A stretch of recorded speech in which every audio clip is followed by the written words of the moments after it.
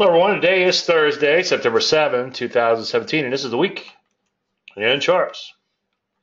Obviously, I want to thank you for taking time out of your busy schedule to be here. I'm humbled by your presence. All right, what are we talking about? Well, obviously, current market conditions, and we have quite a bit to talk about there. Your questions on trading, if you don't mind, just so I don't get too sidetracked with my ADD, keep the questions on the actual slides, and then as we get closer to the live charts or once we start on live charts, feel free to start asking questions in general there. Uh, then and then obviously your favorite stock picks, but wait again until we get to the live charts for that. And for your benefit, ask about one stock at a time and then hit enter. That way I'll know which ones I've covered and which ones I did. Now, today's webinar kind of morphed into two things. And for quite a while, I've been wanting to do a webinar on patience. And I started working on that part of the webinar. And then before you knew it, it got me to thinking about becoming a successful trader and how there's no career path, which we'll get into in just one minute. And I sort of went off on that tangent, but I tried not to venture too far from the the patience thing. So it's a combination of being patient and having a career path. Now, before we get into all that, there's a disclaimer screen. As you know, you can lose money trading, or as often sum it up, all predictions about the future, and a lot of stuff can happen between now and then. Margin call.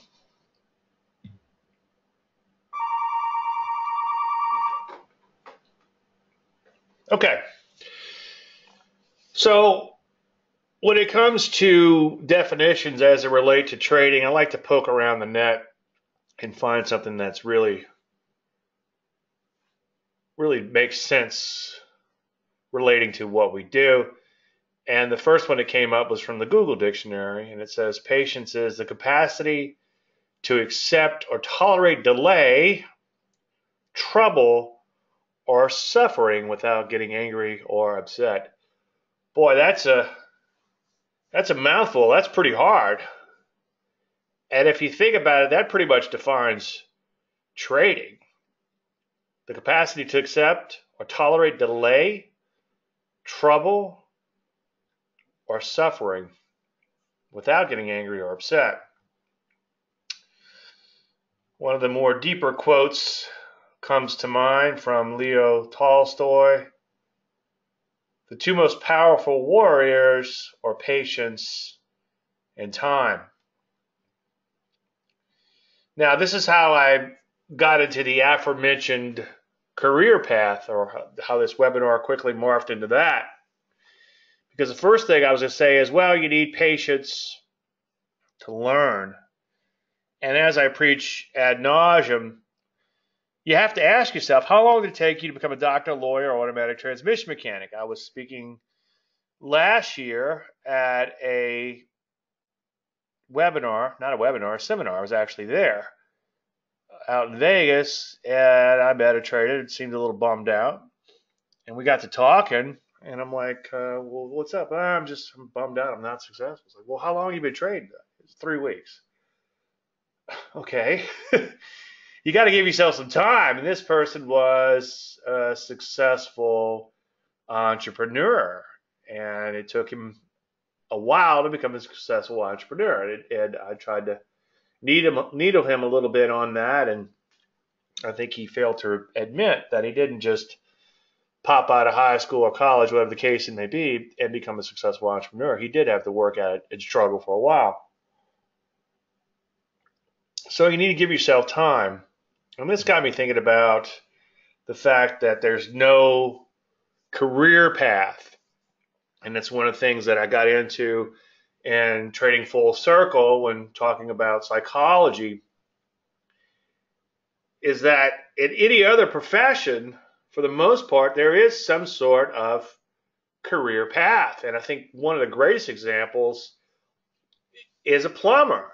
And as I told the story, I think a couple times since I've uh, published a course is that we have a, a friend of the family and he was in a very tough business. And one day on his way home from work, he decided, you know what, I'm I can't do this anymore. I need to do something else. And for whatever reasons, I don't know, but he decided to become a plumber. And so we called him a month or two later because we had some issues. And he's like, no, no, no, it doesn't work like that. You have to study and then you have to become a journeyman where you work with someone and then you have to take tests and get a license. And it's a very long, drawn out process. So, along the lines of trading, I've been working really hard over the past several years to see about defining that career path. And one thing I just keep coming back to over and over and over and over and over is the amount of patience. And it's amazing how much patience you're going to need. And I'm going to flesh that out in a lot of detail. But if you boil it all down, you obviously need a methodology, some money management, and of course, your mind, the trading psychology. And in more recent years, if you've been coming to these presentations, you notice that I've been harping more and more into trading psychology because the methodology is not that difficult, finding a simple methodology is not that difficult. And the money management is almost mechanical when you think about it. You could money management goes in a spreadsheet. There's a little discretion here and there, and I know I owe um, one of you guys an email because we're talking about trailing stops but for the most part, it's not that complex. In fact, that's probably the simplest thing of it all. But your mind is the most crucial part because the greatest methodology in the world with a fantastic money management system is obviously completely worthless if you don't have the proper mindset to follow it. So let's break these things down. The first thing you need to do with your methodology is find a simple pattern. All you need is one pattern to be successful. Linda Raschke once said that. And I firmly believe, and I think it was her or somebody else went on to give an example of a soybean trader who only traded soybeans on the long side. And he had these these other parameters that he used in addition to that, but it was very simple and what am I looking for? Specific. And he wasn't trying to do everything at all times. He had one little thing that he did. Now, we all tend to go on a grail hunt, and I've been there, done that, and got the t shirt. As I say ad nauseum, I used to wake up a couple hours early. I still wake up a couple hours early. I guess it's I guess it's the normal wake up time now. I get up every day about five thirty. It's probably about five fifteen because my alarm clock is a little fast. So I'm up around 5:15, 5:30 every morning, and then I drag my butt in here and get started. Years ago, I used to spend those first couple of hours programming like a madman and that's been the end of my day doing the same thing, trying to discover that holy grail. Well, the bittersweet moment for me is when I discovered that there wasn't a holy grail. And it's kind of interesting nowadays by holy grail research, if you want to call it that, is to try to find the most simplest thing that works. And just a couple of months ago, I discovered something just using a, a, five day simple moving average in IPOs. And I'll show you that in just one second. And a few years prior to that, I discovered something even more simpler that works. And that's why on my website, I went ahead and trademarked Trading Simplified. So I would encourage you to find something simple that works. And if you want to go on a grail hunt, become successful with something very simple first and the reason I said my grail hunt was bittersweet was because I was just doing this intense, intense, intense, intense research. And it's sort of like when I discovered that it wasn't a, a grail hunt, I kind of backed off on that. But that's what I had to do. I had to back off and focus on keeping it simple.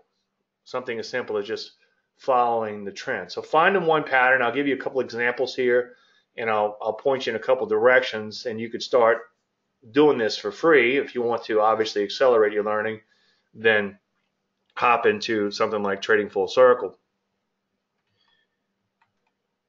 And once you find something, I would encourage you to go in and find at least 100 examples historically.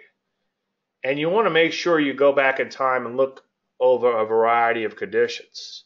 If you have the data, go back to the 1900s in some cases. Sometimes I don't feel like doing whatever project I'm on, and I'll go back and look at the Dow in the early 1900s and study that and look at patterns and trends and things like that going way back in time. I was talking with a trader friend of mine. That's probably been 15 years, but it's been a while. And he told me he just took this setup. And I'm like, wow. I was like, that seems kind of neat. Don't quite understand it, but if it works for you, then that's great. How long have you been trading it? Well, this is my first trade. It's like, wait a minute.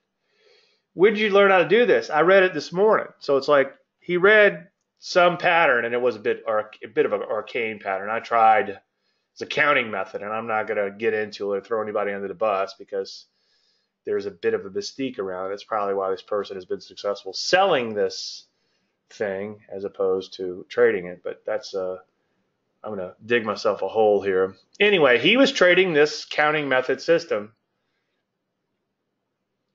after just reading about it 10 minutes earlier. That might be a slight exaggeration. It might have been an hour or two earlier, but you get the idea. Instead of going in and studying it and convincing himself through at least 100 examples that this thing is viable, he just jumped right in. So, what I would encourage you to do is when you're focusing on those 100 setups, you want to play devil's advocate too. You want to find setups that just flat out don't work. And we're all guilty of a selective perception, meaning that we're only picking out the ones that tend to work, and that's human nature. And that's sort of combined with the corollary of perceptual distortion, meaning that we don't, not only is our perception selective, but we kind of distort what's actually there. And I guess the only way you're going to really find out is to actually do it. And we'll get to that in just one second.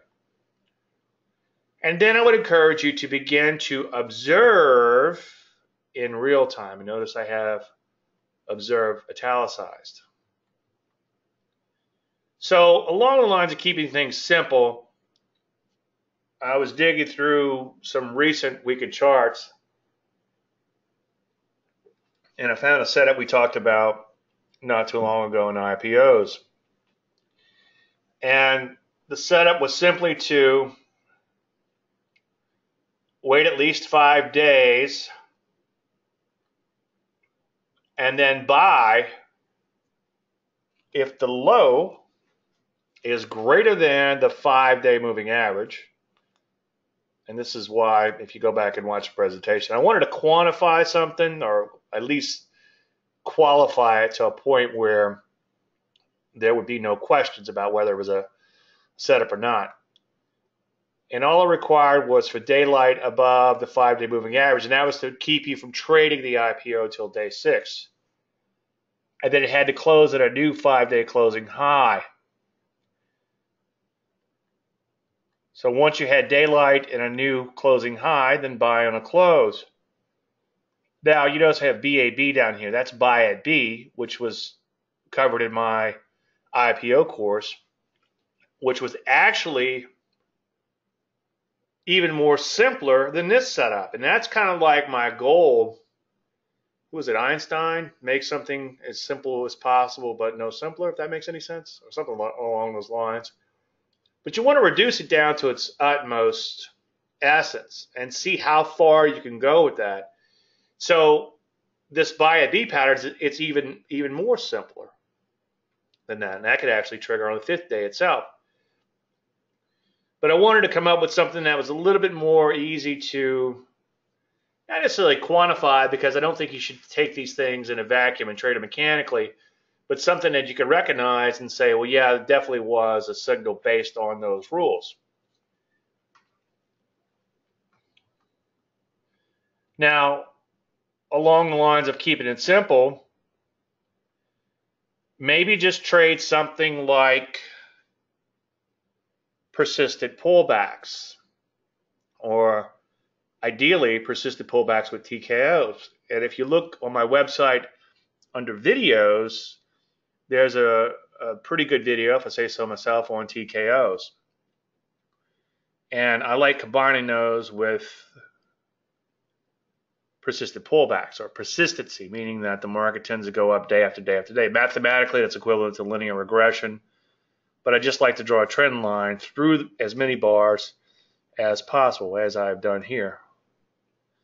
And it's good that the, the more that are outside the top, the better off you are. In fact, we could probably move this line down, but try to intersect as many bars as possible. Or if you want, draw our linear regression line. That's fine. And here we have a bit of a TKO-ish type of setup followed by a pullback. And then this was a trigger a few days ago on that one. So very easy to see. It should be like getting hit in the head with a halibut. It should be pretty obvious. As opposed to some sort of counting method where you're counting bars and you're having plotting 15th oscillators and all of these things. Now, one thing I would encourage you to do is don't reinvent the wheel. And I think a lot of us are attracted to trading because it's something that we can do. And we don't need anyone else to do it. We we feel like we want to be autonomous in this and we feel like it's something that's completely in our control and we want to do it completely by ourselves.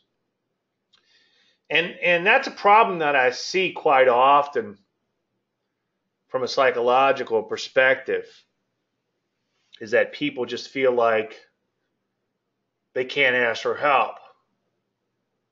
And you should ask for help. And one thing I was reading recently, and I'm getting all these books confused because I'm reading a lot of them right now. I have a habit of putting a book in each different room and reading it when I go in there. But one of the things that they pointed out is even the the best athletes in the world still have trainers and they're still learning.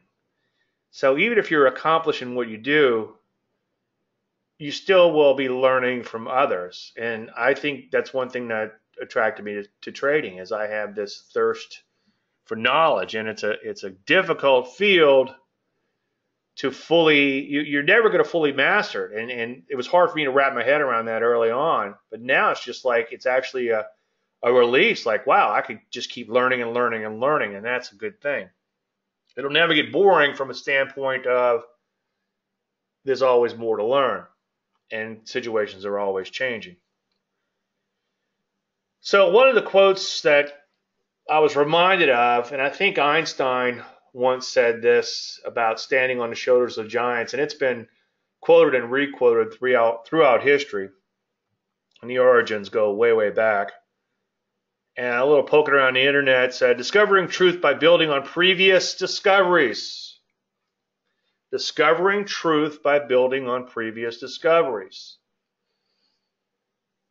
It's okay to take one of my patterns and make it your own. It's okay to take one of my patterns and trade it without making it your own. There's nothing wrong with that. And it was kind of interesting just poking around the internet a little bit. I found this picture and they talked about it goes way back to where they talked about a, a midget sitting on the shoulder of a giant. And one thing about this standing on the, the shoulders of giants that's amazing is I've been going back and reading these vintage books on trading psychology and markets and market participants and such.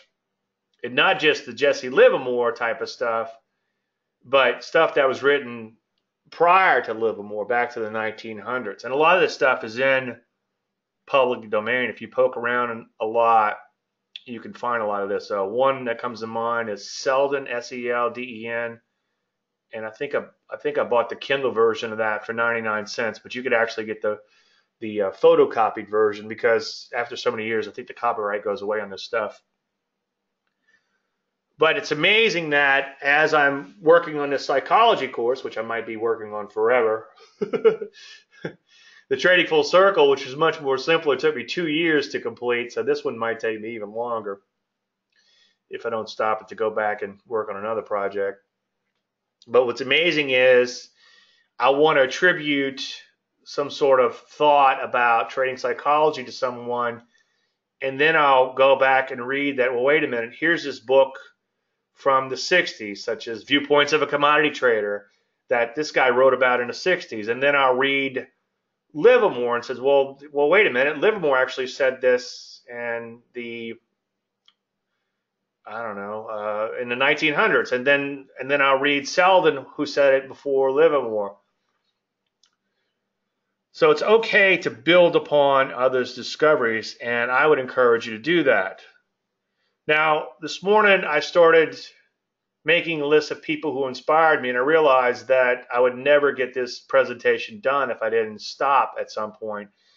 And here are just a few of the people who've inspired me throughout my career and there were some people that I knew personally early on that really helped me out, and some people that I was fortunate enough to meet later on that I had studied previously. So if I say something that makes sense, then use it. And if you can learn from some of these other people and it makes sense to you, then use it. You don't have to do it all on your own. And it's okay. And that's a reoccurring theme that I'm seeing over and over as I'm studying more and more of the psychology and embracing it is that we all need help. We all get help. And we all need the support mechanism of others. And Dr. Robert Maurer, which is not a trading psychology book, he's written a couple of books on psychology, which I'd recommend you read uh, Kaizen Way and Mastering Fear. And especially in Mastering Fear, he talks a lot about the importance of having this support mechanism. So it's okay to get help. I think the trader is attracted to this business because of the autonomy, but in reality, it's okay to get help. It's okay to consult with others. Obviously, you have to follow your own plan and you, you can't confuse your your trading plan with with someone else's and everything else you have to at some point it is dependent upon you but it's okay to have a support mechanism and along the lines of when you're finding your methodology i would urge you to beware of false claims and if if there's something out there that sounds too good to be true it probably is. And I don't know why I'm thinking about this one particular thing because I've seen quite a few things lately that are a lot more current. But one of them was take 10,000, turn it into to 100,000, quit your day job, and then turn that into half a million and keep on going. Well, it's like, okay, Really, it's that easy? And then somebody asks, well, can I start with 5,000? Well, of course you can start with 5,000. So you can turn 5,000 to 500,000. And when you hit 100,000, you might as well quit your day job because that's getting in your way, right? Well, beware of these false claims. If it's that easy, then why not start? Why don't they start 10 accounts with 5,000 each, and then in a short period of time they'll have $5 million. So, but Dave, aren't you selling some education? Yeah, I'm I'm selling education, but it's grounded in reality and reality based. Now, the reality doesn't sell as well as the hype. And I got a lot of people, and this is where I get kind of pissed off, but a lot of people who are out chasing those holy grails and buying all those systems are asking me questions and asking me for help. And I could, I don't want to throw anybody under the bus, but I'm thinking of, it was kind of funny. Years ago, there was a guru out there, and the guru's technician was actually calling me up for advice. And I'm like, aren't you working for a guru? he kind of mumbled a little bit. But I don't want to get in trouble and throwing anybody under the bus. But it's amazing. A lot of a lot of people who who aren't clients of mine are out chasing those rainbows and getting sucked into those inflated claims, but they won't buy in to reality of trend trading with a simplified approach, simplified money management, and having the mindset to follow it. I came across this quote in a book that I recently read called The War of Art Obviously, a little play on words there from the Art of War. But it's a good little book, and it's a you could read it in a sitting or two. And it really ties into trading, and I'm looking forward to kind of bringing some more lessons from the book into it. And I thought this quote made a lot of sense. A counterfeit innovator is wildly self confident. The real one is scared to death. And that's one of my, I don't know if the word's epiphany that I'm looking for or not, but that's one of the things I've discovered is that the longer you're in this business, not that you become less confident, but you become more aware that you cannot predict the future and that things are out of your control and that money management is crucial and that your trading psychology is vital and that you must follow the process and that as Odin has said and others outcomes are noisy. You can do everything right and still lose money. And that's kind of been my self-discovery and all this. Isn't there a Socrates quote? I'm thinking of like Bill and Ted's Excellent Adventure or whatever. It's like uh, you know nothing. It's like you reach a point where you don't know anything and then you think you know everything and then you realize that you know nothing but then you just accept what the market brings to you and you follow something simple like persistent pullbacks TKOs or even something simpler such as these little IPO patterns where you're buying these very simple short-term breakouts so to speak now, obviously, you'll need some money management. You need to study a simple money and position management strategy that keeps you keeps the losses within reason, and occasionally a position will get away from you. It'll get gapped through, and you're going to have to deal with that, and that's just part of life.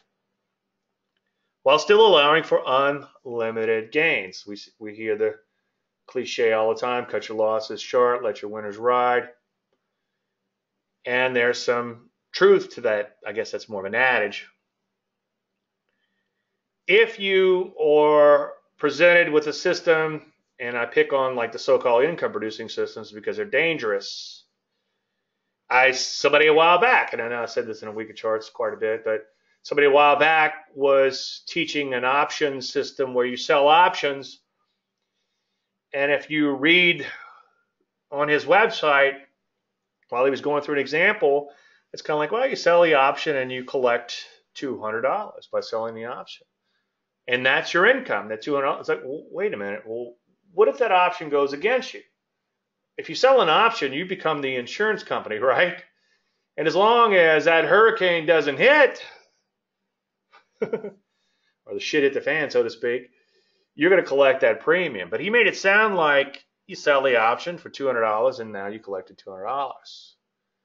And as your account builds, just keep doing that over and over again. And maybe when your account gets a little bit bigger, you could do that 10 times. So 10 times 200, that's $2,000 a week. Well, it's $2,000 a week, but you also have to wait a month for that option to expire in the particular case that he was given. And, you know, as I said earlier on, in my disclaimer, all predictions are about the future, and a lot of shit can happen between now and then. So, what I'm trying to tell you here, believe it or not, I have a point, is you want to run, don't walk away from any of these so called income producing strategies. The only way you can make income from a market is to take little tiny gains, okay? And unfortunately, if you read a little Nicholas Taleb, learn about the black swan, just because something hasn't happened yet doesn't mean that it won't. And what's really tough in markets is I've seen some things work for a long, long time 10 years, even 20 years, believe it or not, and then end really badly. So if you don't know that something really bad can happen, you're going to be really surprised when it does. And mean reversion is one of those things that I'm not a big fan of for that particular reason. Mean reversion says you could buy you should buy a market while it's just falling out of bed. Put your face in the fire is the the, the expression they use. And that'll work until they don't. You'll catch a lot of good little moves. That and selling options is a great way to have a very brief but brilliant career, or brilliant but brief career on Wall Street. So make sure everything you're doing is conceptually correct and that you're allowing for the potential for unlimited gains and that you're limiting losses. The question is Selden. I think it's Selden, S E L D E N. And I'll have a biography. At some point, I'll, I'll put together the mother of all. Is it biography? Is that the word? References. I'm trying to think of what's what's the word for. It's, funny. You try to talk in these. You, you could talk one on one, but once you go online, it's a little it's a little uh, tough. But anyway, yeah, I'll, I'll get a, um, a list of references. Now, of course, the most difficult part of trading is you.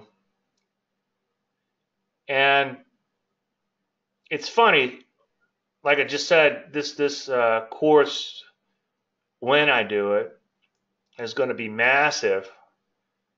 But I go from this big enormity of this course and I come back to just how simple it really is. And then I go back to the enormity of trading psychology. It's kind of like trading in and of itself. It's just sell higher than you buy. That's it. That's all you have to do make money on trade, right? But obviously, there's a little bit more to it. Well, trading psychology is just make a plan and follow it. That's it.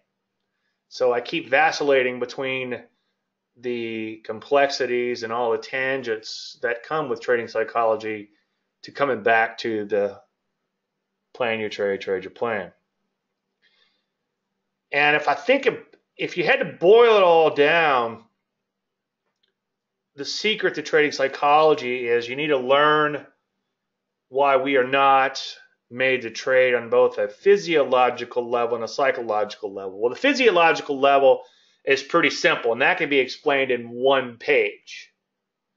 We have a little emotional part of our brain that dates back to caveman times, and we share it with a lot of animals, present day animals. And that little emotional part of our brain can really muck us up when it comes to trading. So you can learn that pretty quickly. Just learn the parts of the brain, how the brain works. I think it's called the triune brain, and I'm trying to think of the guy's name. I have all again, I have all those references somewhere, which I'll eventually uh, be happy to give you. But it's also from a psychological level, obviously. And the psychological level is a little bit tougher, but all these things I talk about, and I'm going to mention one of them in a minute, uh, looking for action or patience can be a problem because if you're successful, you make things happen and you don't sit around and wait for something to happen. But in trading, a lot of times you do just the opposite. So, and again, this is pretty easy to learn. There's there's a lot of good books out there that you can read on this, and I can give you a list of probably about a hundred of them. Like I said, once I start putting this uh, course together, where I've read and reread, you know, looking for inspiration on some of these things, and then relate them back to my own trials and tribulations. Now, of course, you want to paper trade until you're successful. A lot of people don't even bother doing that, which is shockingly amazing. But keep in mind, as I wrote in a layman's guide to trading stocks, I've never met an unsuccessful paper trader. And that's because it's pretty easy to follow a system until real money is on the line. Once that happens, then obviously it becomes a lot tougher. Now, I would urge you to trade at a small, almost meaningless size until successful, on and off throughout the years. Not so much in the last 10 years, but going way back in time, I was involved with other websites and such. And and I would see people who were behind the scenes, not actually traders, watch the traders do what they do, edit their articles or whatever the case may be, learn the methods and et cetera, et cetera. And then they'd be like, okay, you know what, I'm going to do this trading thing. And then they have a hard time actually doing it. But in some cases, I've seen people who were successful fairly quickly. And I was kind of amazed. Like, how, why did it take me so long? How were you so quick? And I know you had the, the benefit of these people. That's a given. And you could actually ask some questions and you know, that's a little bit of an unfair advantage. I had a bit of an unfair advantage early on. Some of those people I mentioned earlier, I was in direct contact in the business with them, and that was huge. I also worked with a hedge, with a couple of hedge funds, but uh, one in particular was about 14 years, and that helped me out a lot. But the point I was trying to make is that the people who had the knowledge and were able to apply the knowledge quickly, to my amazement, well, they said, look, Dave, I'm not trading my life savings here. I'm just taking these little bitty tiny trades and I'm only risking a very small amount. And that's a testament for you have to start off at a very small amount once you've convinced yourself through a lot of research that you have something that works and you've paper traded it and you've paper traded successfully obviously and then just trade a very small amount until you get the repetitions in until you feel some of that adversity of wanting to do the wrong thing wanting to violate that plan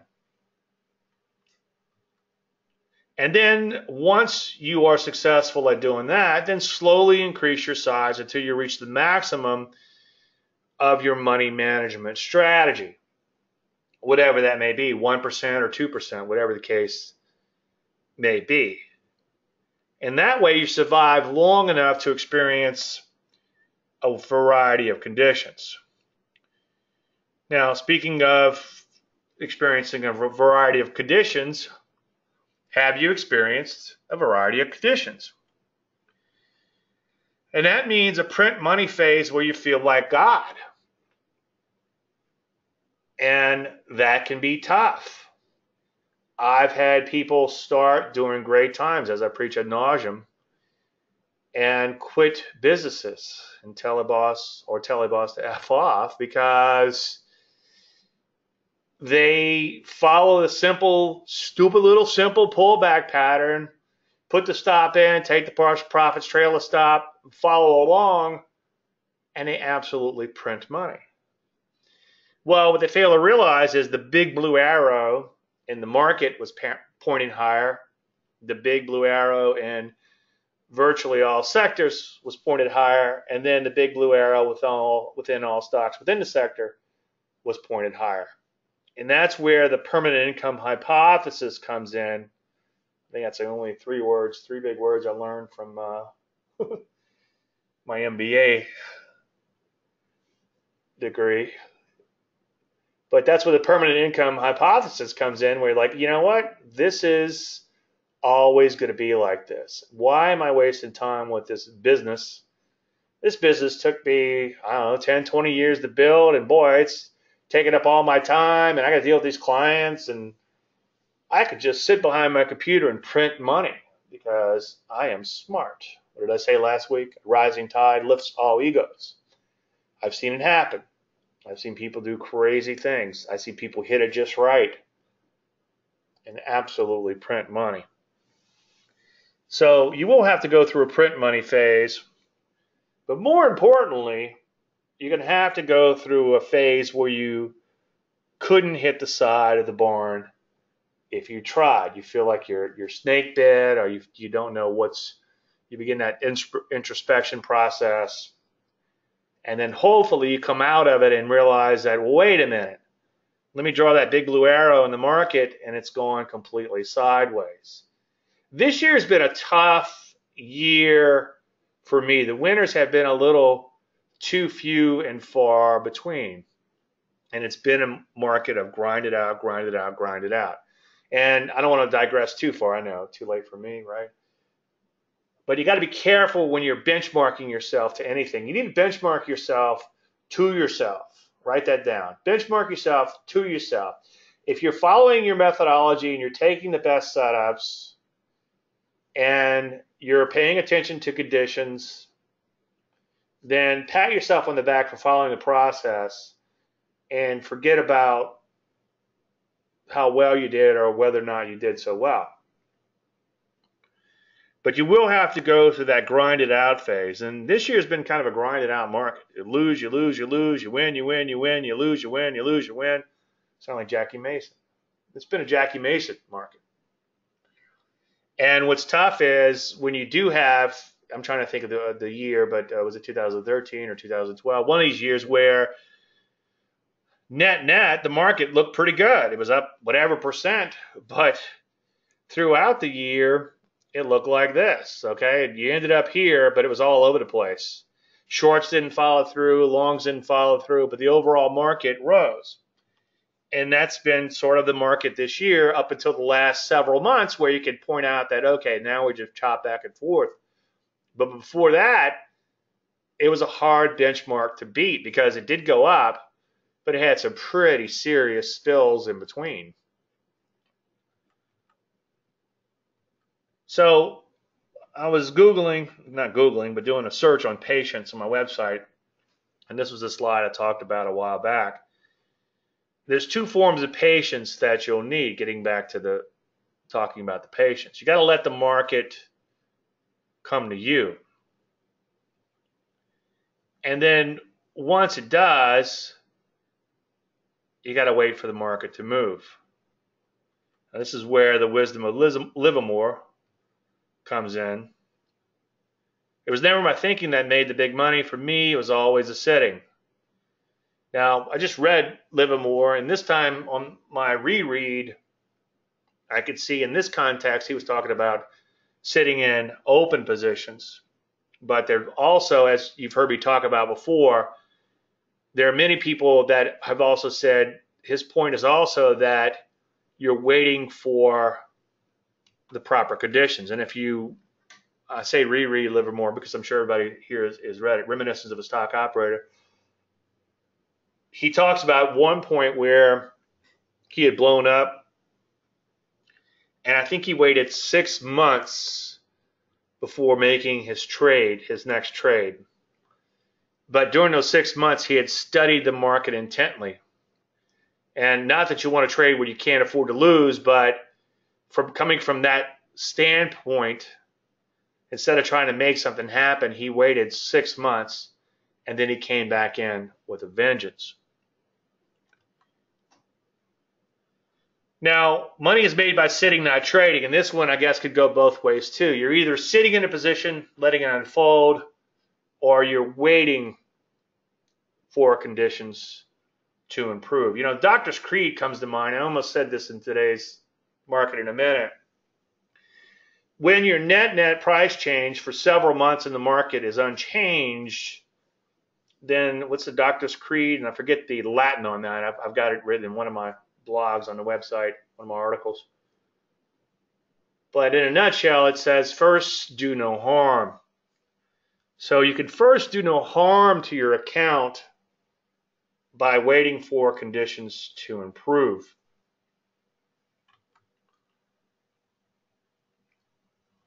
Another thing he said of many things that are of great value don't give me timing, give me time.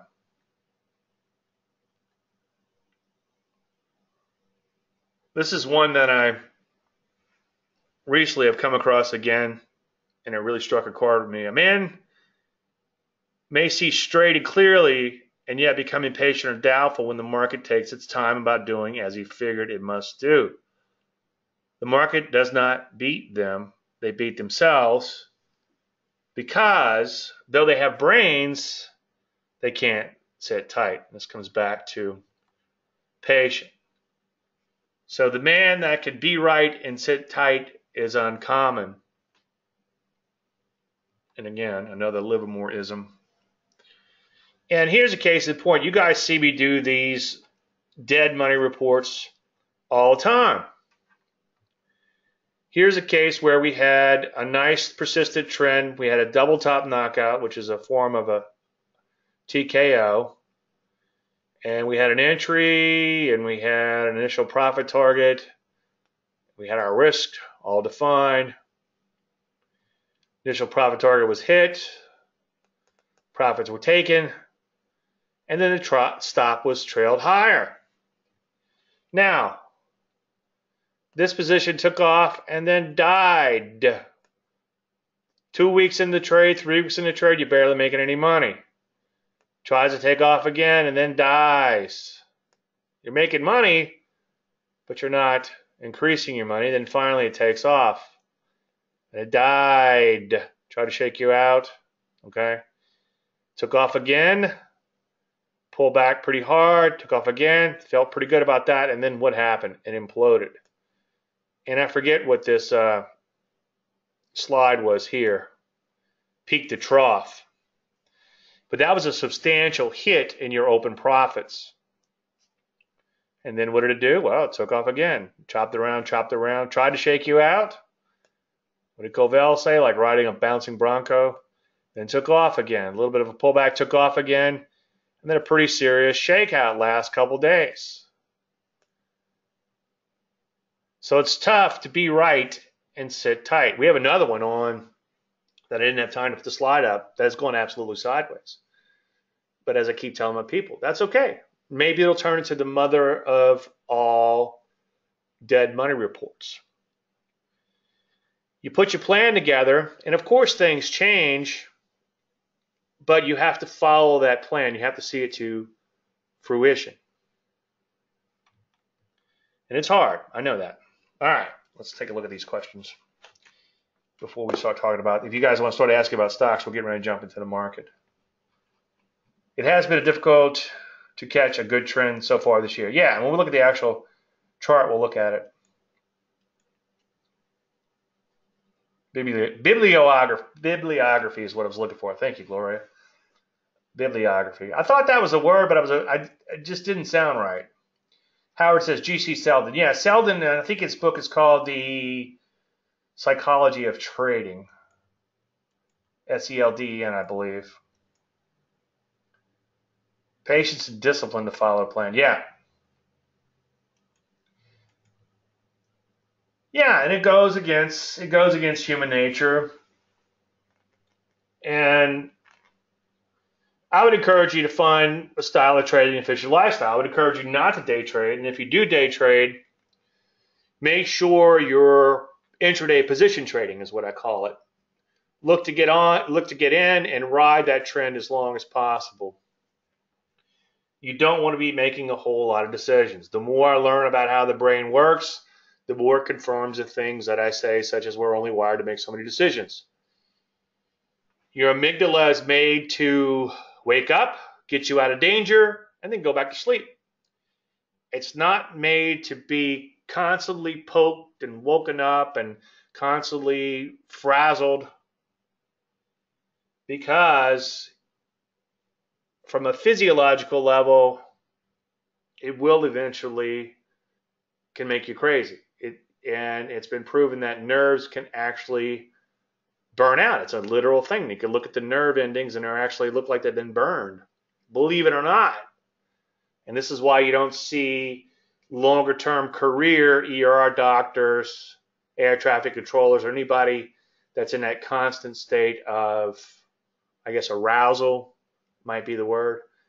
And Dr. Robert Maurer gives a good example, and, and I've observed a lot of animals out here in the country.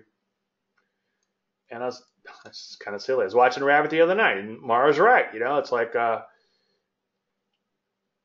a bird hears a noise, like a twig snap or something. It flies up to another branch, like, ah, and then what does it do? It just sits there for a little while, nothing happens, goes back to singing or whatever it was doing.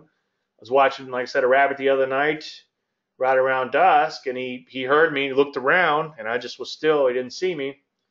And he went right back to eating the grass. Same thing in the in African plains or whatever. The animal gets spooked, makes that flight or flight decision, and if he realizes he's in no immediate danger, it immediately switches off. Well, the problem with us in life is we're under this constant stress where we're not switching that off, and that creates a lot of problems. So find what works for you. The, my original thought in all this was busy traders make good traders. You don't have to quit your day job. In fact, I would encourage you to keep your day job.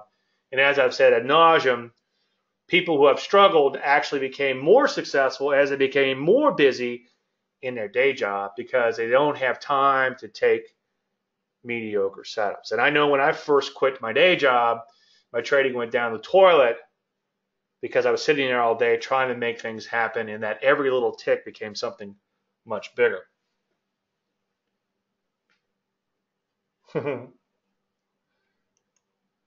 MAGA. Make, make America Great Again IPO. Oh, we'll take a look at that. All right. All right. Um, couple of weeks ago or a month ago or so, I started talking about winter is coming to the Game of Thrones fans, which I have become in more recent years. I wasn't early on, but now I'm all in. You'll know that that winter is coming quotes comes come quote comes from the Starks, especially that bastard Jon Snow. And then last week I said, well, is it delayed? Because it seemed like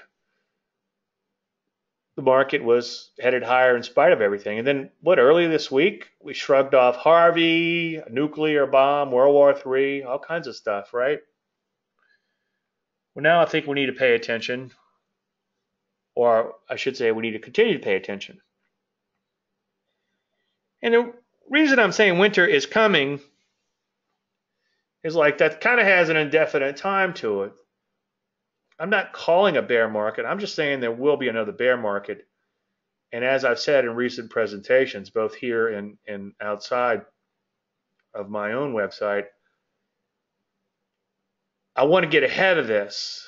And more importantly, I want you to get ahead of this and I want you to pay attention to developing situations. If everything goes on and makes new highs, then we dodged a bullet. But if we start seeing more and more signs, then we need to pay attention. You don't need to go crazy bearish, but maybe fire off a short or two and definitely honor your stops on the long side. So it's better to be safe than sorry. I guess I need to take the slide out because it's been here for a while. It's here. A couple of years in the works, trading full circle course. Go to my website, to trade stocks successfully or on the home page, I think you'll see this uh, little video here. If you click on that, you'll get the first four videos, I think, in the series. And it's good stuff, I say so myself. All right, I think I've pontificated enough. Uh, let's go ahead and hop into the uh, live charts.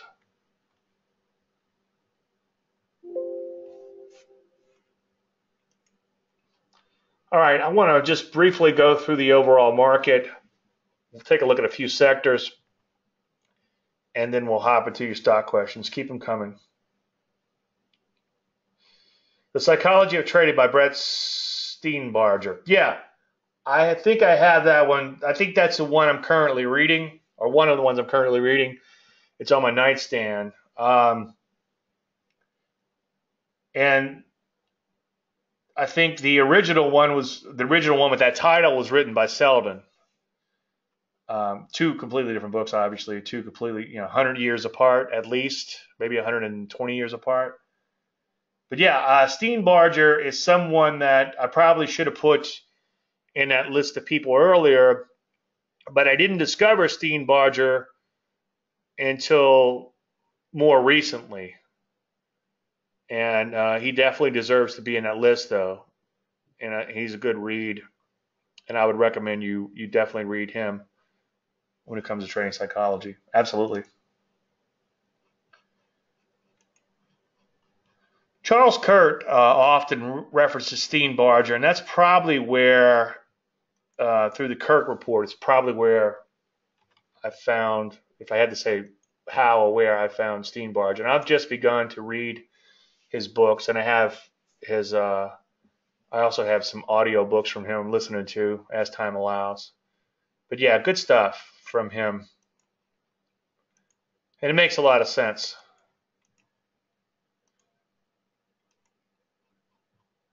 And you know, as far as it being a lonely sport, as I said earlier, such as Dr. Robert Maurer's saying we need to reach out and have other people and have a support mechanism.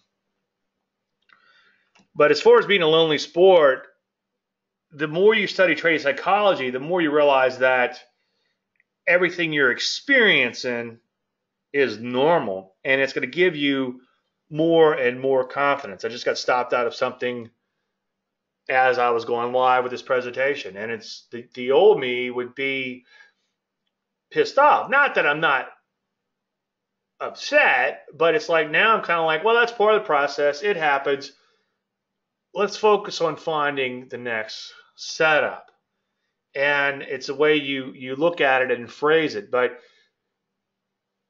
through all this psychological study and all these things that I do publicly here on my education in my educational business, it's helped me to embrace more and more these things and to embrace the attitude and how important your attitude is and how you just have to shout next you know drop an f-bomb if you must and sometimes i do but then move on.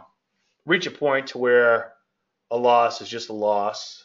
And it's frustrating, don't get me wrong, but then move on 10 seconds later.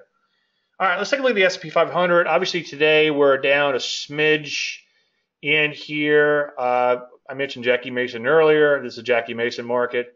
It's up, it's down, it's up, it's down. It's kind of all over the place.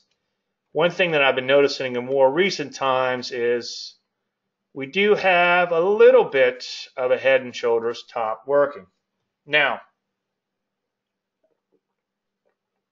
I mentioned Schabacker and Edwards and Magee earlier. A friend of mine actually met, I think Magee, one of them, got on a train way back in the day and, and uh, went and met him. Kind of interesting, um, interesting individual. Both of them, both my friend and Magee. But anyway, um, read those classical technical analysis texts, but be careful in trying to implement them directly. Find something simple, and if that dovetails in with that more complex pattern, such as a bow tie within a head and shoulders, or a first thrust within a triple top or a double top, or like a double bow tie off a big double top, these type of patterns. But don't try to trade the classical technical analysis in and of itself. Okay.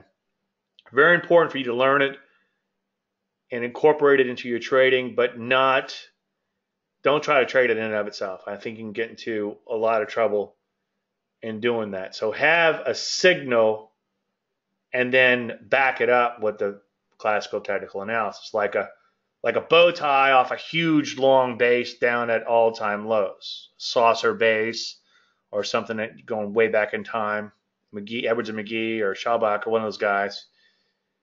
But don't try to trade in and of it in and of itself. Now, along those lines, the reason I'm saying that is we do have a potential head and shoulders working in the S&P 500 not the end of the world, but obviously you don't want to see the bottom of this range and let's just make the math easy, let's just say 2400. We'll only see 2400 get taken out. And you know what? For S and Gs, let's just see where the 200-day moving average is.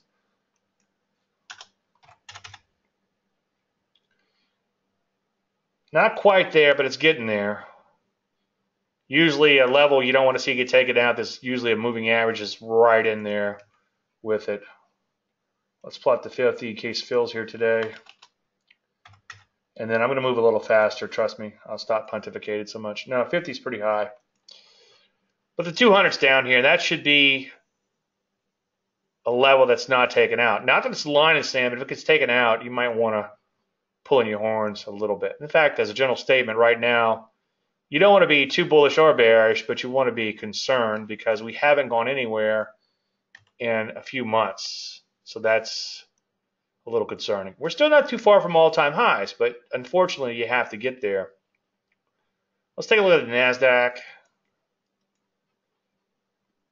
NASDAQ off a smidge today, obviously. You could draw your, or, or I guess up a smidge now. You could draw your sideways arrow there too.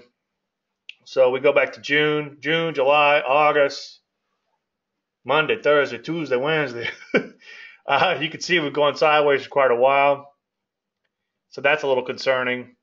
Speaking of concerning, the Rusty is the, the biggest concern of mine and has been for a while. One, if you didn't know anything, you certainly could look at it and say, well, how far have we gone since last year? Not very far. Okay, depending on what day you pick, we're actually down a little bit. But when you zoom in, you can see that we had a thrust lower followed by this retrace rally. And so far, I think it's just that, a retrace rally. One day at a time though. But this has me a little bit concerned. Now, I think we were just under the 200 there recently. Let's plot the 200. We're below the 50, as you can see. Let's change that to a 200. And yeah, we're back above the 200-day moving average. Nothing magical about any of these averages. And I only plot the 50 and the 200 when the market starts looking a little dubious. And maybe we're just coming down here to kiss this 200-day moving average. We still have a positive slope in the 200-day moving average, so that's certainly a good thing. And this might have turned, might just be the mother of all consolidations. Now, I hate to use the word hope, but what I've been hoping is that we break out and this becomes the mother of all bases and we have one massive leg on top of this base. Now, in the sectors, there's some dubious looking areas such as the banks, and we, we kind of have a bit of a sloppy bow tie working here. And I'll show you a tighter one uh, in a second. Coming off of all time highs. So this looks a little concerning. I would keep an eye out for some shorting opportunities in the bank. You're not going to get rich on the short side, but you might make a little money if the market slides. And right now I'm bearish on insurance. And I think we have some shorting opportunities available. And we're going after one in here, which I'm sure one of you guys will mention at some point. And but you can see it's beginning to break down from high levels. We could have a bow tie. Well, we have technically we have a bow tie now, but it's more of a first thrust type of setup as I often preach, you want to look for the first thrust first, just in case the bow tie takes a little while to form.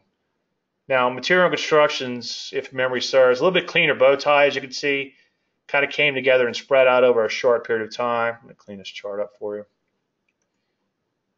And kind of a bit of a throw back in here, but so far, still looks pretty ugly.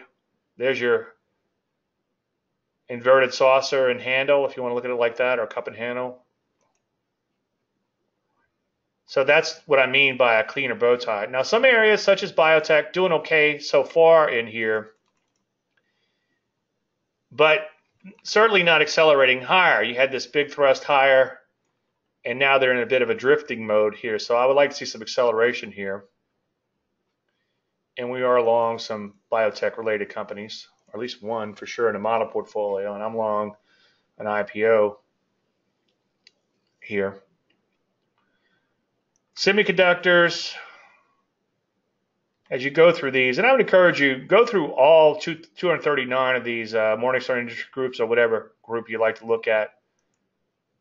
Semiconductors, Got a top, a top, a top. That's kind of a triple top-ish looking pattern. It's not the end of the world. If we go on to make new highs, then we have averted that. And we're not too far from new highs, so let's give it the benefit of the doubt for now. But you want to pay attention. Uh, take a look at the transports, first thrust down, now coming up and bumping up against a little bit of resistance in here. So that looks questionable. So it depends on where you look, but for the most part, most areas looking a little dubious. Metals and mining has been waking up lately, and now they're breaking out to new multi-year highs, so we could start seeing some new setups there, which would be great because these stocks could trade contra to the overall market. As a general statement, I like commodities, especially when they're coming off of major, major lows like we had back here in 2016. As and I don't like them as much when they're at mid levels, but if they start trending again and breaking out, then we may be forced in on these. Gold, the commodity, has been uh, waking up in here, maybe thanks to Kim Jong Un or whatever reasons, but nice little rally higher so far in gold. It's been kind of wide and loose and all over the place, but certainly waking up. So maybe if it makes new highs, we'll start seeing more and more gold stocks begin to set up. And really, without going too far, there's a couple of areas that looked okay recently, such as defense but you can see even defense now has lost a little steam in here. It just looks like a pullback, but on a net net basis, it's losing a little steam. You can see it hasn't gone anywhere in about a month. So we'll have to keep an eye on that situation. And again, go through as many of these as you can stand. You'll see that it's, it's pretty much mixed. What is my view on Edward Thorp? Is that Van Tharp? Um, if memory serves, some of this stuff is uh, is okay. I don't agree with everything, and I, I guess you, you wouldn't expect me to agree on everything, but um, some of his stuff is, is good. It, it, I'm reading a book now. Um, it's actually called Psychology of Trading. It's SFO, Stocks, Futures, Options, or whatever. And I think there's some Van Tharp in there. And I'm not, uh, I don't disagree with it. But Edward Thorp, is that someone else? But yeah, I'll reread. Uh, what is it? Uh, I got a few Thorpe books here. I have to read. Uh, you know, it depends on when I read something, as opposed to how, as um, how much it inspires me. So, so he might have a lot of good things in it, but it's just been a while since I read some of these uh, things. And as I reread them, I'll certainly mention them.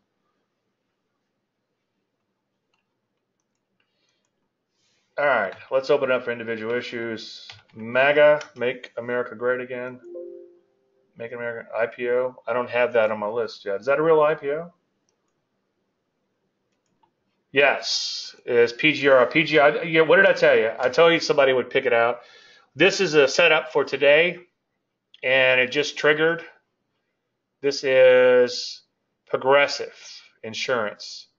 And Steve says, is it a first thrust? Absolutely and it just triggered, as you can see. Okay. Now, first thrust, a little bit slightly more advanced pattern. A stock needs a a sharp sell-off relative to its volatility.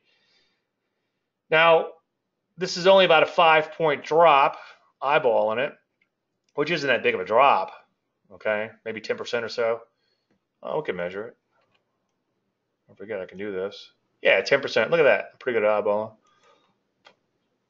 But the HV in stock's only 17.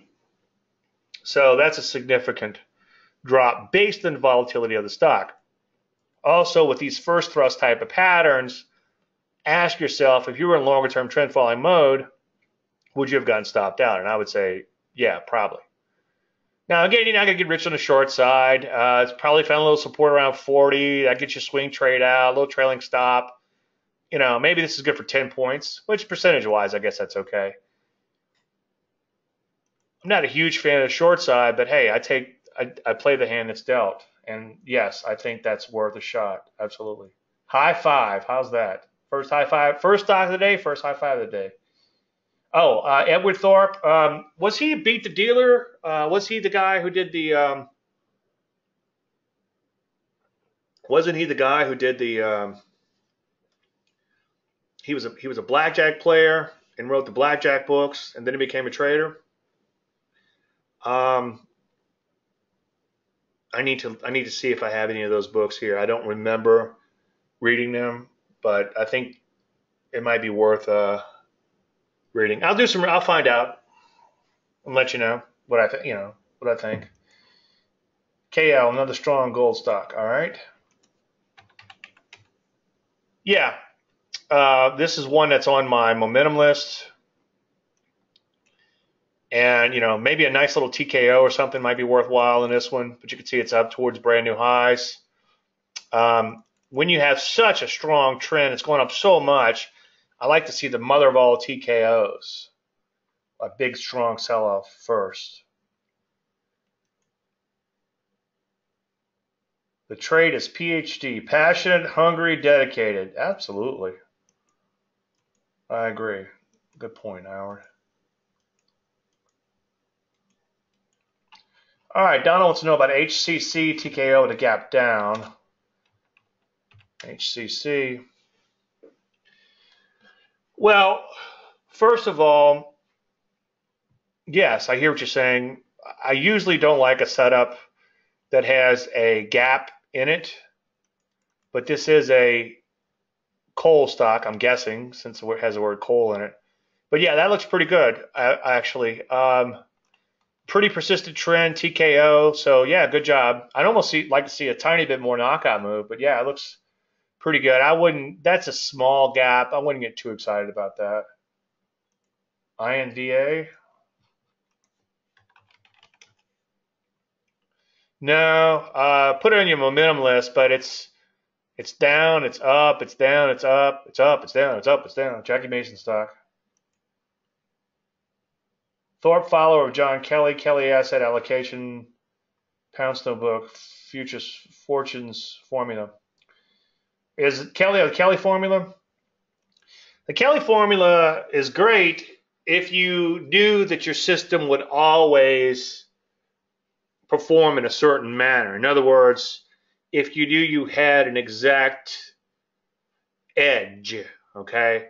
And as I've said before, Larry Williams. I hope Larry's okay. He's down there in the middle of uh, Irma. Poor guy. Um, Larry Williams won a trading contest where he won a where he made a million dollars in one year. But towards the end of the year, he was actually up two million, and then he finished the year up one million, and that was his initial claim to fame. And the way he did it was he was using the Kelly formula. Well, I don't know the exact formula. Larry McMillan actually explained it to me once, and that's how I learned about how Larry Williams did what he did. But basically, it's based on how correct you are, and you bet at a very big size based on that. And it'll work really well. It's it's the fastest way to ever make money. Unfortunately, because markets aren't normally distributed, when things begin to unravel a little bit, it it won't work. Okay, and and I don't want to I don't want Mr. Kelly coming after me, but that's my take on that. IAG on a pullback, that's going to be a, a gold stock. Yeah, you can see some of these golds are waking up in here, and he's like, "Well, Dave, how come we not all over them?" Well, back in 2016, if you go back and look at the service, we were going after some of these, but you can see the trend got pretty ugly throughout. In fact, there was no trend, and we're all over the place. But now they're beginning to break out again. We could see some uh, decent setups and pullbacks. So absolutely, put that on your watch list. Amen to busy traders. Hey, Dr. Tony's here. Dr. Tony is a uh, good buddy. Yeah. ENTA. But yeah, it's people often become successful when they just get busy, busy, busy.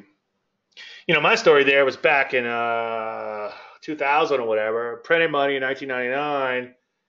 Started writing a book around that time, and then I reached a point where the market began to turn, and I was still still trying to trade the last bull market. And then I realized I was actually going against some of the things that I believed in, just because I was looking for that continual action and wanted to I wanted to continue to wake up and see how much money I made overnight. And as I've said before, I got so damn busy with the book and everything, and my trading wasn't going so well. So I backed off a little bit of my trading, and then all of a sudden, something wonderful happened. It's like I reached a point where I couldn't stand it anymore, and I only took the best of the best trade trades, and that actually helped me to become a much better trader because I realized like, wait a minute, I don't have to be trading like a banshee all the time. Maybe I could apply a little bit of this Pareto principle, a little bit of this 80-20, and focus on the 20% of the trades that are making 80% of the money. Another lesson. Uh, this one looks okay. Wide and loose longer term, some overhead longer term. It's in biotechnology. Biotechnology is doing okay. A little bit of a gap higher. It's okay. It's not bad. Okay. You can certainly do much worse than that. But certainly not bad, John. SGMO. I always say Satchmo when I see this. Yeah, that looks good. Uh, it needs a little bit deeper pullback. Uh, put it on your watch list for sure. For sure. A little wide and loose at times, but looks like it's got its act together. Maybe on a little bit deeper pullback, but yeah, put that on your momentum list. Absolutely. Bzun and RDFN worth a second look. Well, Bzun was on the Landry list and was actually a setup recently. With the TKO, let's back the chart out a little bit. I like to see that this was a double top knockout. I like to see a market get spanked with a TKO, and then I like to see it go right back up really quick. Okay. And let me draw, it might be easier to draw this on a chart.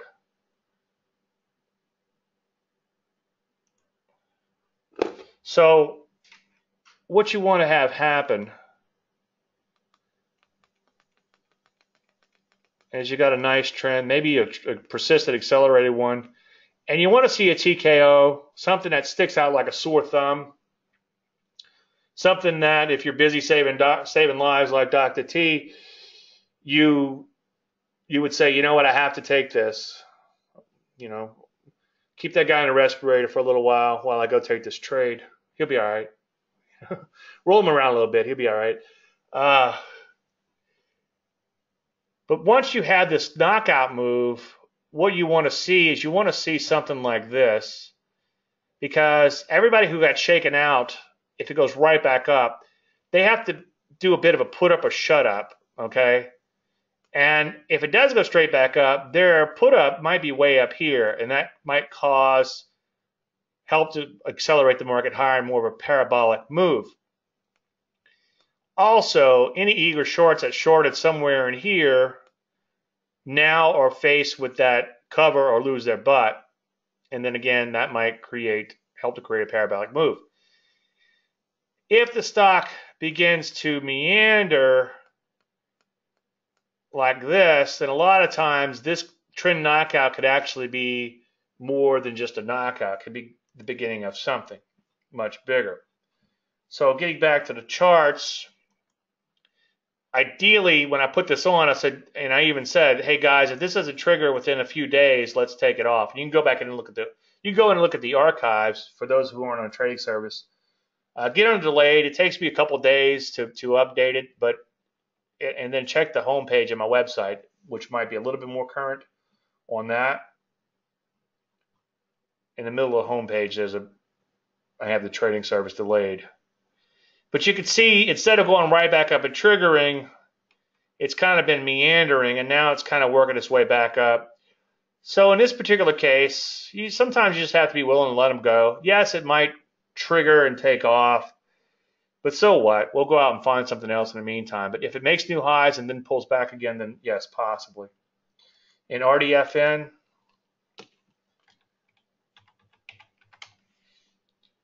No, um, I would pass on RDFN.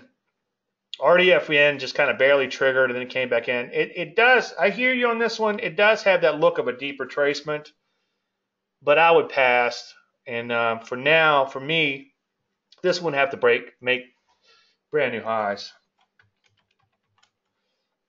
Somebody's asking about AKCA again uh, for Arseny. Um, yeah, I would wait for the next pullback. Not that I wanted to pull back. I am long this one, full disclosure. But on the next pullback, I think it might be worth a shot. Quat on a pullback. Quat, did you say?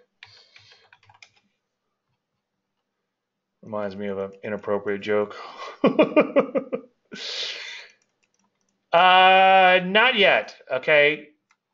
Ideally, you want to see a market go higher and then accelerate higher, not go higher and then decelerate higher. Okay. So it's going to need acceleration and then a pullback. So let that go. Uh oh, F and Don is here. F Don. Don wants to know about Ford his favorite stock. No, it looks like electrocardiogram. Trying to bottom out. I hear you, but it's going to have a lot of resistance to deal with. Low. Yeah, Donald, that one, the one that starts with H, is on the Landry list for today. It's actually set up, so we're going to pass on that one. Um, low looks like it's in trouble, but it's kind of all over the place. If you're going to short something at this juncture, uh, sort the banks or insurance companies. I mean, see how clean this is coming off of brand new highs? Looks like they're in a, a, a shat load of trouble, as opposed to something that's a little wide and loose. So try to find something cleaner that's imploding. CAI.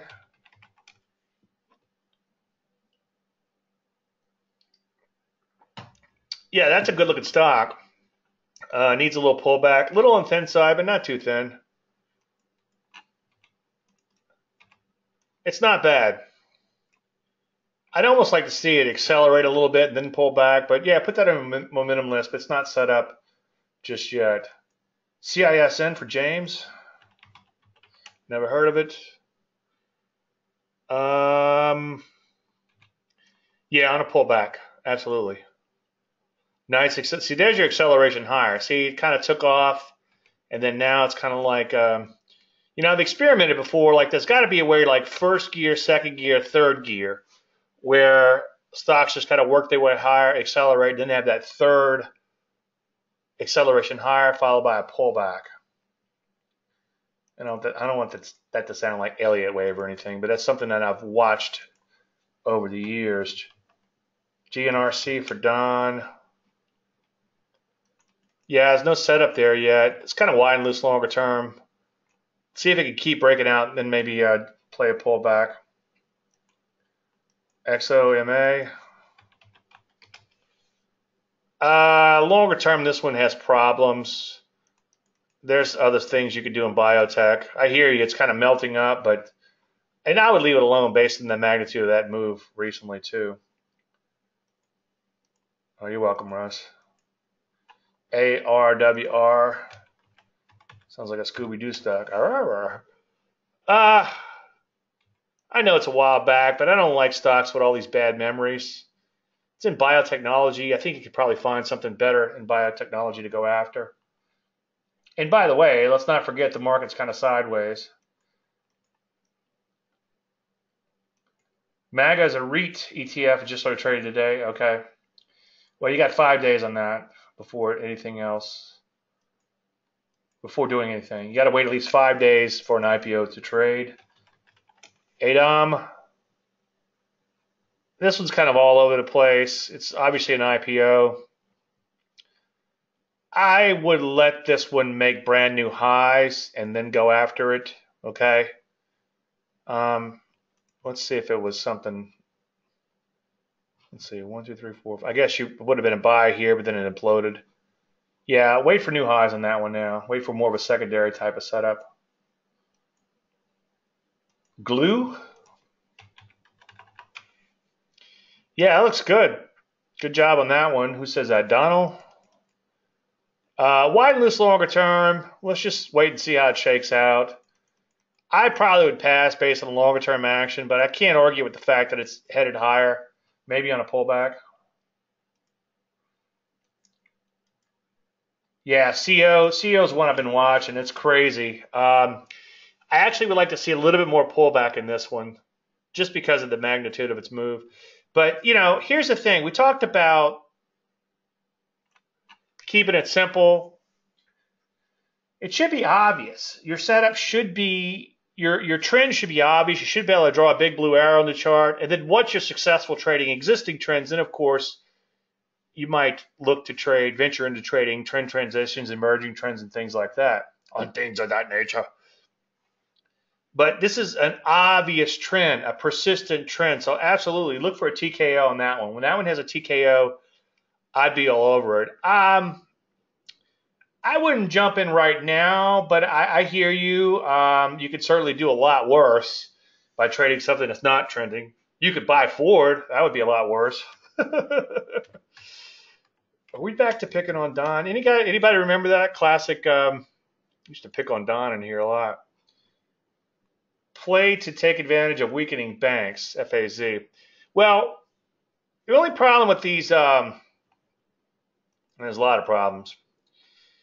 One day I'm gonna start a hedge fund, and all I'm gonna do is short these inverse shares. Okay, why? Well, because they go down longer term, and there's a variety of reasons for that including tracking errors. But one thing that I never thought about until more recent years is that if these when these stocks are short and they throw off excess cash, they have to reshort that excess cash. And that reinvestment at lower levels eventually makes them go lower and lower and lower. And that's why all of these short ETFs will eventually go to zero and you think, well, let me just buy them when they're down low. Well, they'll reverse split you to death. Trust me, I've been there, done that, and got the T-shirt. If you don't know what that is, just buy them when they're cheap. You'll learn. Um, the other thing too is it's three times leverage. So you would have it does you no good if you're following a solid methodology and a solid money management, a robust money management plan because you would have to divide your risk by three and buy one third of the shares because of leverage. You have to take the leverage out. Yeah, unless you want to make a day trade in something like this, let's take a look at like an hourly chart. See if we got like an hourly bow tie or something. You know, by all means, if you want to take like an hourly bow tie, let's see if we get an hourly chart on here. You know, an hourly bow tie, and you just want to make a day trade, uh, intraday position trade, I should say then maybe, you know. You know, like back here, you had a bow tie, like right here. Get in right here, exit by the end of the day. Get in right here, exit by the end of the day. Get in right, I guess, right here, and then exit by the end of the day. But again, I want to talk you out of day trading, I shouldn't have showed you that. The reason I showed you is that's about the only time you would ever want to trade one of those triple E leverage stupid things. JNCE, not bad. You got a nice thrust from lows, a little bit of a pullback. You got some overhead supply.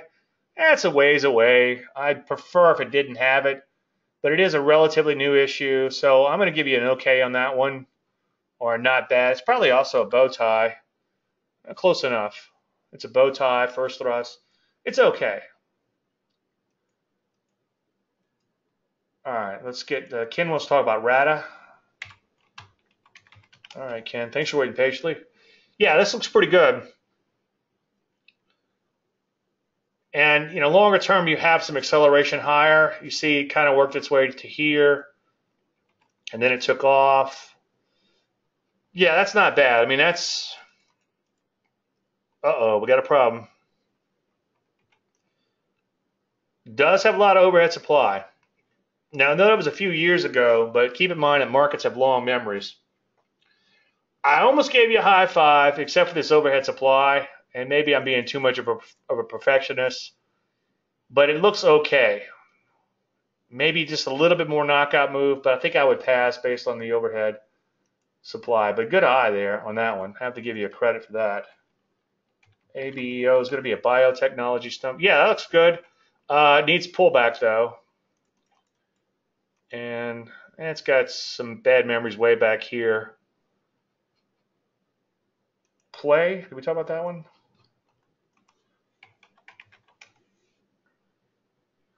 Uh, if you want to short this one on a bounce, maybe, but you certainly don't want to buy that. Don't catch a falling knife. ESIO.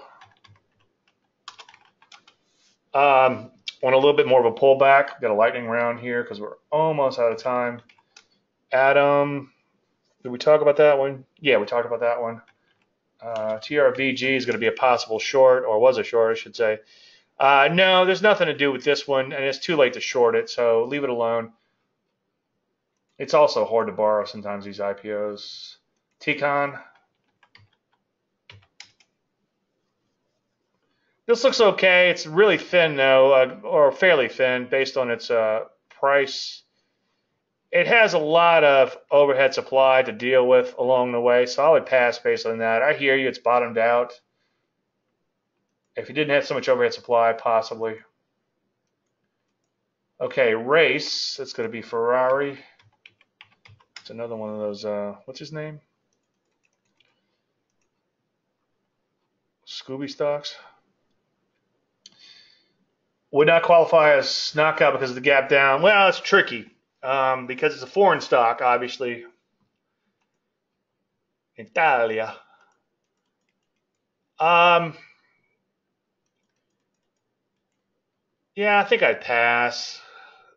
Sometimes these foreign stocks can gap because it's trading overseas, but it has lost a little bit of steam in here. It's just not jumping out at me as something that I'd want to go after. And with the gap, where would your entry be based on the TKO? I mean, if you had to go after it, minimum of 115 before I'd, I'd look to get back in that one. You're welcome, Howard. CLMT. We're on the cusp of the uh, time limits here. Yeah, this looks okay. Uh, big gap down back here, so you, might in some bad memories, so people might be looking to get out.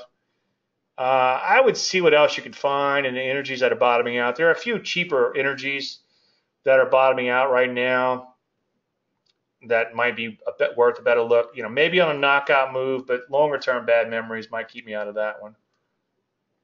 You're welcome, Steve. Steve says, thanks for a nice webinar. Well, thanks for attending. I appreciate that. You're welcome, Don. All right, looks like we're we're at the uh, time limits here. As usual, I want to thank you guys and girls for coming. I appreciate you taking time out of your busy schedule to be here. Anything unanswered, David Dave Landry.com. If we don't talk again between now and then, everybody have a fantastic weekend. And then I guess uh, we'll talk again next Thursday, if not sooner. Thank you so much.